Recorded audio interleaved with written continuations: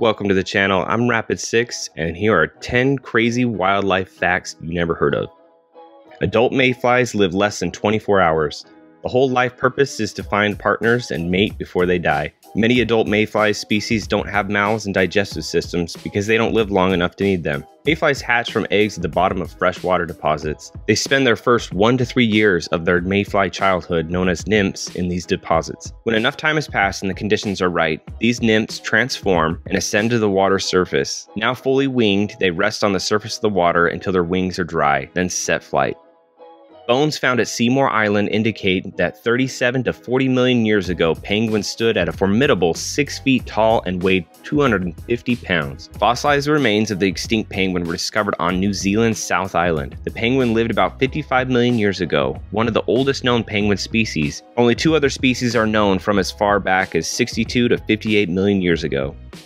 The blue macaw parrot that inspired the movie Rio is now officially extinct in the wild. According to a study conducted by BirdLife International, in recent years, several bird species have lost their fight for survival. And sadly, one of those species is the beautiful Spix macaw. The species is now considered extinct in the wild and is reclassified as critically endangered. Some of the birds now survive in breeding programs in hopes to save them. With an average lifespan of 200 to 400 years, the Greenland shark is not fully grown until reaching 100 years old. This makes the Greenland shark the oldest living vertebrae in the world. They live their lives mostly restricted to the waters of the North Atlantic Ocean and the Arctic Ocean. They live so long because they grow very slowly, about 1 centimeter a year, and reach maturity at about 100 years old. Now that's a long childhood. The Basenji is the oldest dog in the world. The Basenji is considered the oldest dog in the world according to a scientific study which compares genomic analysis of 161 current dog breeds. It is estimated these origins begin in the African continent, where they were used for hunting and tracking prey. Their image was portrayed on some Egyptian tombs and are believed to be represented in hieroglyphs from their time.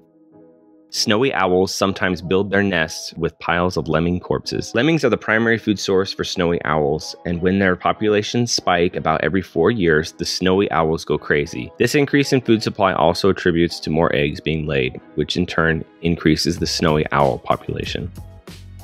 Some cats are allergic to humans the same way humans can be allergic to cats. In rare cases, cats can be allergic to people. Human allergies are uncommon since we bathe more often than most other species and we don't shed as much hair and dead skin, which in turn triggers our own allergies to pets. When cats do have a bad reaction to us, it's usually caused by a residue from our own perfume, soap, or laundry detergent. Any water based cleaning products usually contain some preservatives. Cats tend to be more sensitive to chemicals than dogs. Authorities in Guam dropped acetaminophen laced mice from helicopters to curb the invasive brown tree snake population. The U.S. Department of Agricultural Wildlife Services tested this aerial bait drop system in Guam's jungles. This involves airdropping dead mice filled with acetaminophen, a pain reliever found in medicines like Tylenol, to attract and kill snakes. Streamers attached to the mice get caught in the tree branches, suspending the mice where the snakes live. Scientists used elephant seals outfitted with sensors strapped to their heads to do research in Antarctica. The deep seal researchers dove over half a mile down to uncover how deep the ocean currents move. Elephant seals were able to reveal that deeper water does indeed circulate near the ice sheets, where it is warm enough to begin melting them. Squirrels were purposely introduced in American cities. Squirrels aren't natural city slickers. In 1856, the sight of one in a tree near New York's City Hall shocked passerbyers, that the newspaper published a report about an unusual visitor. Around that time, the tree-dwelling rodents were being released in America's urban areas to create pockets of peace and calm. By the early 20th century, America began to regret the hospitality it had shown to squirrels. In 1970, many parks prohibited feeding the creatures. Let me know which one was your favorite in the comment section below, and don't forget to like, comment, subscribe.